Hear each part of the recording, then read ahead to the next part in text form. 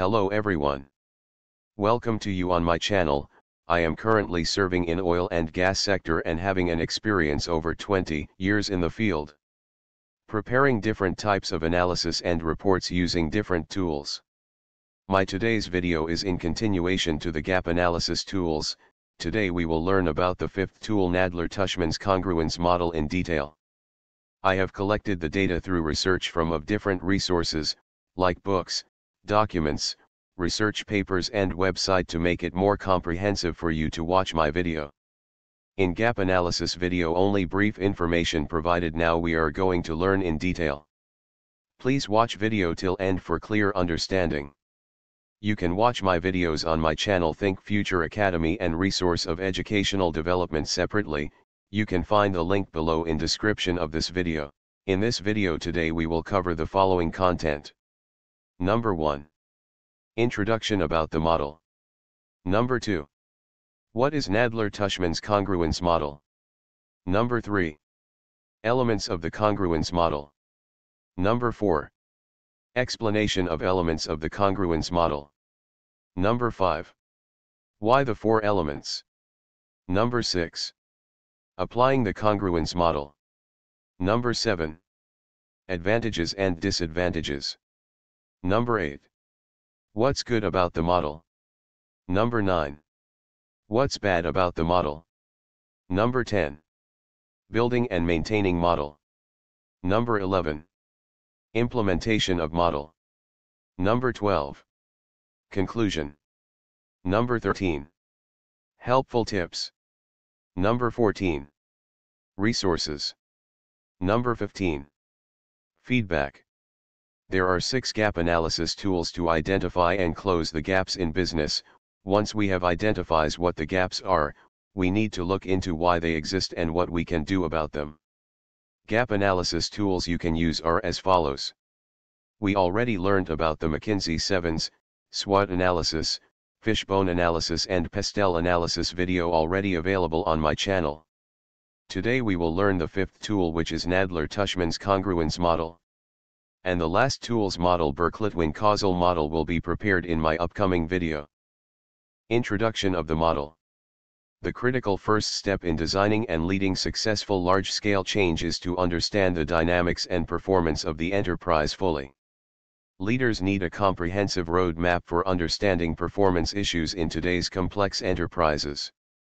The congruence model of organizational behavior developed by David Nadler and Michael Tushman at Columbia University is a simple, pragmatic approach to organization dynamics based on systems thinking.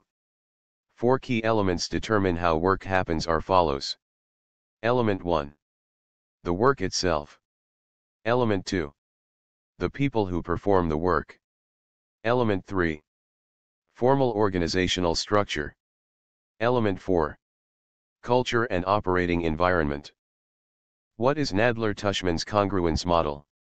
The Nadler-Tushman congruence model is a diagnostic tool for organizations that evaluates how well the various elements within these organizations work together.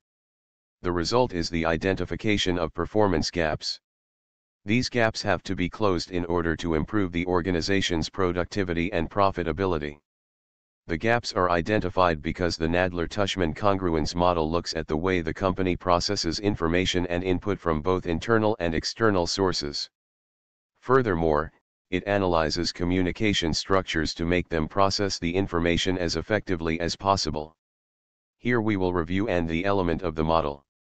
If a change impacts one area, it will have a domino effect on the other areas. Which is why this model can correctly apply to change situations. The model, in summary, looks at four factors that allow transforming inputs into outputs. As a leader, if you want to achieve the desired output, you, therefore, need to understand how the four critical components work in conjunction. Let's see the element. Element 1. Task. Element 2. People slash individual. Element 3. Organizational structure or formal organization. Element 4. Culture or informal organization. In explanation of elements of the congruence model my colleague Ms. Jasmine will help us to explain the elements for you one by one. She has vast experience in the field of leadership management and excellence. Thanks Mr. Aziz for inviting me to join you, I will try to explain as my best of knowledge, so let's start from First element which is task. This task identifiable as work, refers to the tasks carried out by employees. As an organization, we should ensure that the tasks are consistent with the objectives set for organization. It should be visible, what skills and knowledge are required for each task. And these should be present in the organization in the right quantity. We should look at certain questions while conducting the analysis like Question 1 What are the tasks or processes being carried out regularly? Question 2 what steps are being taken to maximize task efficiency and efficacy? Question 3. Is the work meaningful or fulfilling and if not, what are the challenges in making it so? Now we will move to the second element which is people or individual. These are the people in the organization, and composes a critical element of the congruence model. We should be aware of the type of individuals an organization is formed of, their working styles, competencies, and skills, as well as their personal characteristics. The following questions should be considered. Question 1. Do the employees possess the requisite skills or knowledge? Question 2. Does the business tend to hire staff with a certain personality type? Question 3. Are they suitably compensated? These questions must be asked of every employee, from upper management to process workers. Now we will discuss the third element which is organizational structure or formal organization. This is the formal aspect of the organization, which includes policies, procedures, processes, and all business systems. The following questions also considered. Question 1. How to creates consistency between what an organization wants and what it does. Question 2. How many levels of management are there between executives and employees? Question 3. To what extent are decision-making capabilities assigned? Here, it is also helpful to consider the physical structure how many business units are there? Question 4. Are divisions product, region, or function-based? Question 5. Are they centrally located or do they occupy several locations? Now we will discuss the last element culture or informal organization.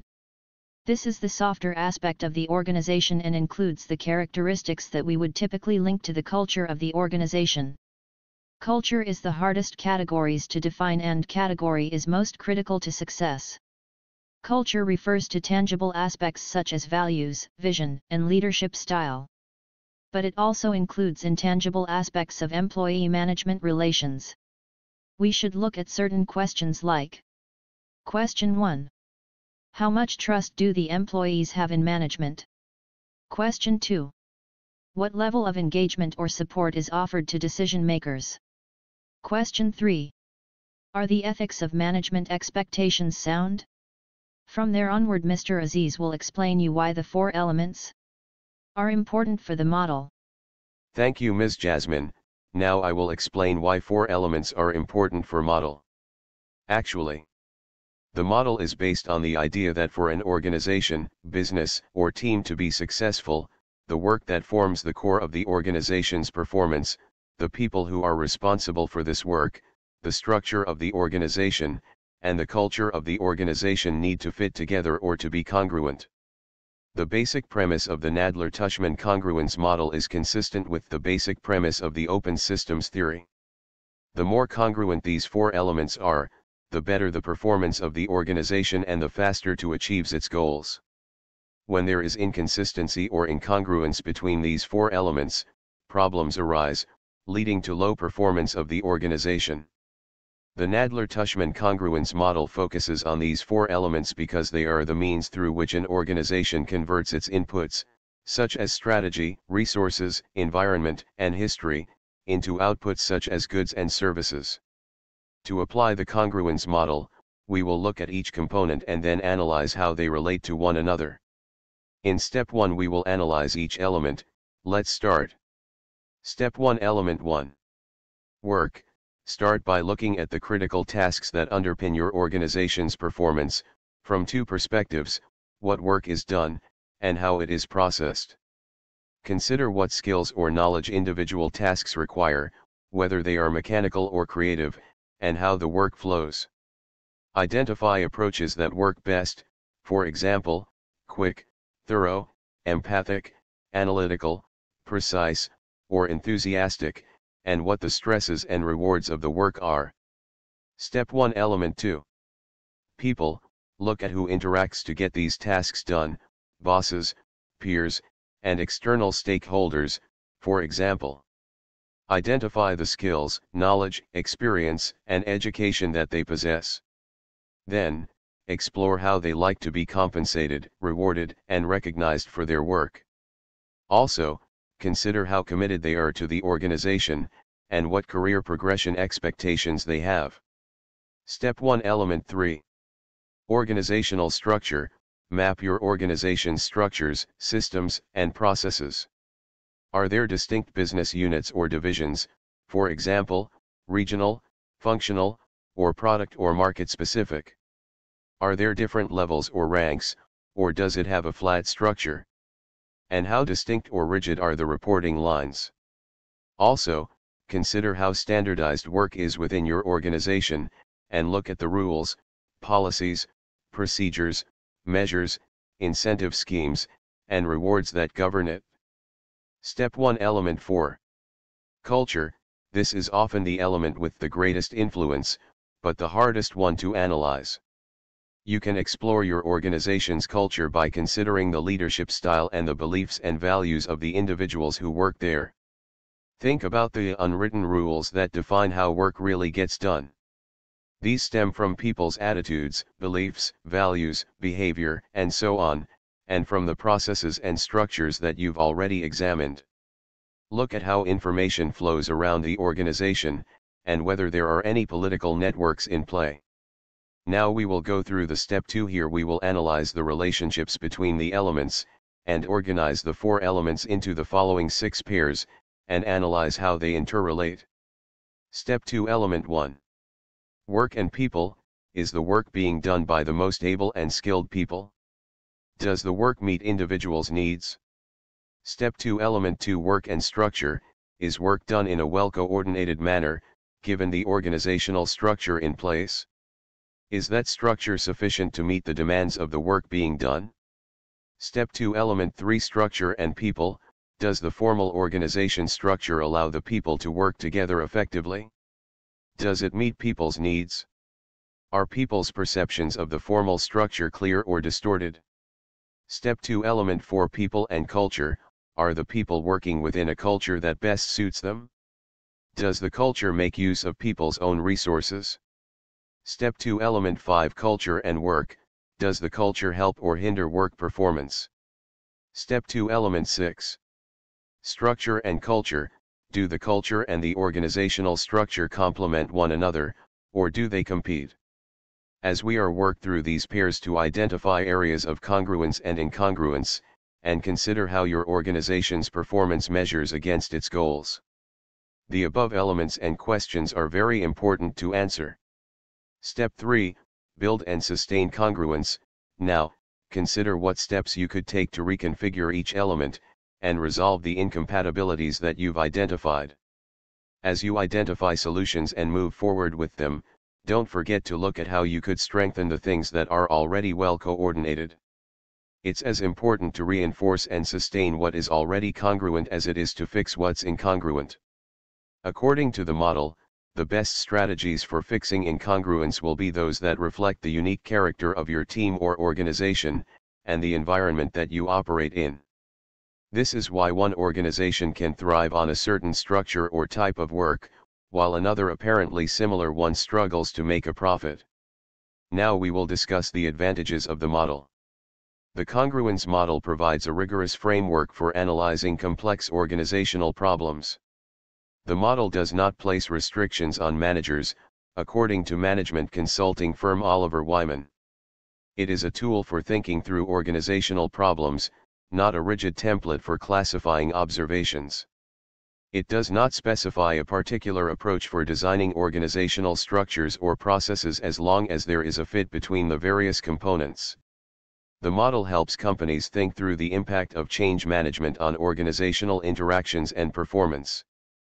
The social components people and informal structures and technical components tasks and formal structures must fit as part of the congruence model. For example, if the product manager is not on speaking terms with the marketing manager, there could be design delays and poor market penetration. Here we will discuss the disadvantages of model. Applying the congruence model could be a long and expensive process, especially for global organizations with several business units and thousands of employees. The model does not specify a direct way for incorporating group dynamics into organizational analysis. The absence of a structured template, while giving managers flexibility, might also limit their ability in quickly coming up with proven solutions to organizational problems. The application of this model may exclude the possibility that the absence of a fit does not necessarily imply a problem because there may not always be a perfect fit between tasks and individuals, especially in small entrepreneurial companies.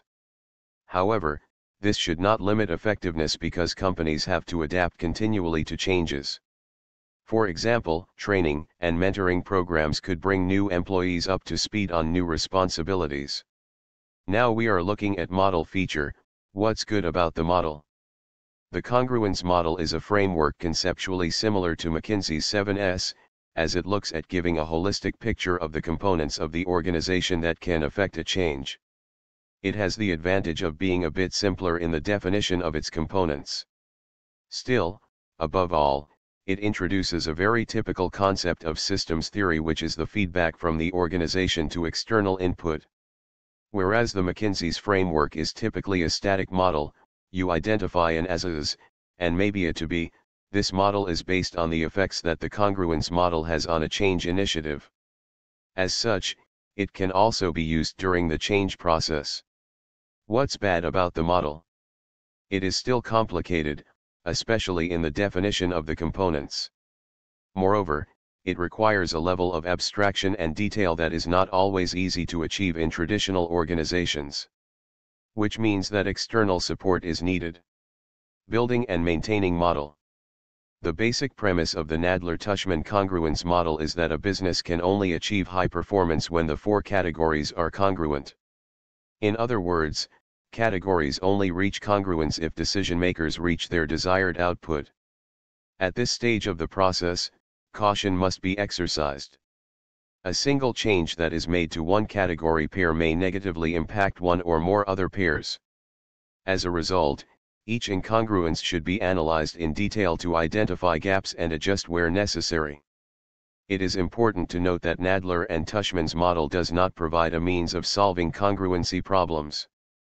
Decision makers will need to choose a third-party diagnostic tool specific to the category pair where the incongruence exists. Let's review now implementation of model. The implementation of the congruence model involves identifying the symptoms of problems, determining the gaps between inputs and outputs, describing the fit between an organization's components, identifying problem areas and developing an action plan to deal with these problems. Conclusion of the model. The congruence model is an excellent concept and a way to illustrate how an organization should be considered a living organism. This framework allows us to consider the fuller picture of change and not just the input or output approach. Great as a diagnostic tool, it still does not provide full guidance on how to conduct a change process, this still needs the support of other tools. Please consider these helpful tips while you are in process of analysis. Tip 1. The Nadler-Tushman congruence model is a performance evaluation tool based on the degree of congruence between four key categories, task, people, structure, and culture. Tip 2. Nadler and Tushman argue that high performance in a business is contingent on all four categories being congruent. All inputs must contribute to a desired final output. Tip 3. The Nadler-Tushman congruence model identifies incongruences but provides no support in addressing them. Decision makers must use specific diagnostic tools to complete the whole process.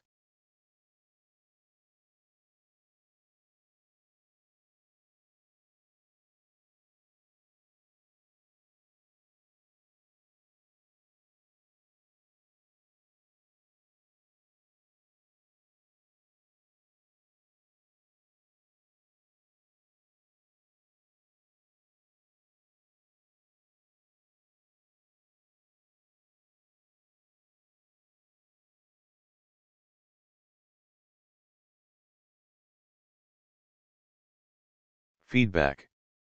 I hope you enjoyed this video and before leaving, if you have not already subscribed this channel, make sure to subscribe, like and hit the bell icon to get updates when I post new videos. Provide your feedback in comments. Join social media on following links.